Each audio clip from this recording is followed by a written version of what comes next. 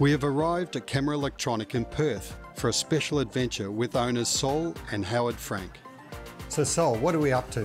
Mate, we are excited to have you guys in our town. So this is all about WA, adventure. We're gonna head out to an area called Wilbinga. Lots of sand dunes, we'll do some four-wheel driving, capture some amazing moments, use all the best cameras, lots of fun, lots of toys. Then we're gonna head out to Yanchep. Now Yanchep is this stunning area not far from Wilbinga, also a little bit north of Perth, and they've got some caves there. So we'll get into some low light photography, get into the caves, take some photos and see what nature's about. What gear are we going to take, mate? We'll take uh, the latest Nikon Z8, we'll take some of the nice Sony gear, everything from macro to long lenses to flash and also constant lighting LEDs. Let's go and check in with Howard at Wonderlust. Howard, we're in this amazing store, Wonderlust by Camera Electronic. What makes it different to your other stores? Yeah, thanks, Darren. Great question. Uh, outdoor lifestyle tech, power your next adventure. So everything battery powered, outdoor, beautiful Australian lifestyle with battery powered technology. So all the things that go with that. Normal drones, underwater drones, fishing drones, electric vehicles and rideables, underwater scooters. A lot of great toys, mate. Absolutely. But usable toys. definitely, definitely. For our adventure today, what products are we going to take with us? Well, I think we've got to take some drones so we can capture what we're doing from the air. Yep. Definitely some batteries, solar panels, power stations, things like that, because we're photographers, right? We need to charge our gear as we go, especially when we go remotely. Absolutely. Sounds fantastic. Let's hit the road, mate.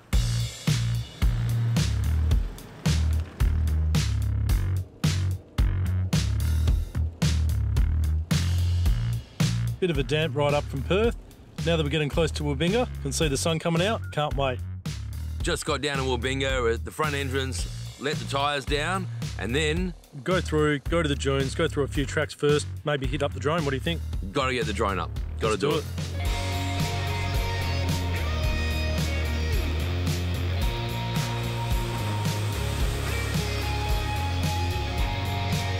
Lucky to see some kangaroos while we're looking for a drone spot, hey? Mate, I couldn't believe it. Three of them just sitting up there on the ridge. Beautiful shots. Oh, there they go, sticking up again. Awesome. Love the reach from this. It's only 100 to 400 unless you get all the way in. And oh, I went the 200 to 600. Long range, baby. You are taller, that makes sense. Yes, I like it.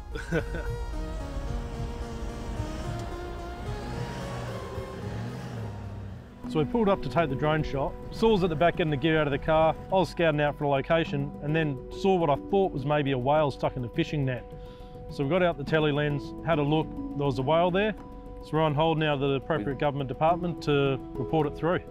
I'm not a huge whale expert, but it looks like it could be a humpback, I think, a baby humpback. Yeah, we're out here doing a photographic trip, so we've got long camera lenses with us, so we could zoom in on it and have a look. It's definitely still alive, um, but it's caught up in some some sort of fishing nets or something like that.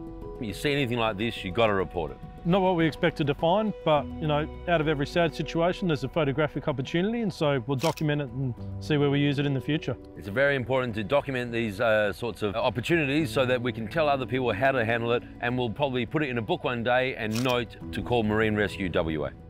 So we just got a call back from Marine Safety. Good news is they'll have a rescue team here to rescue the poor whale within the hour. Now, over to the drone master to get some shots. We're going to take the drone up, get some stunning stills video of our exquisite coastline.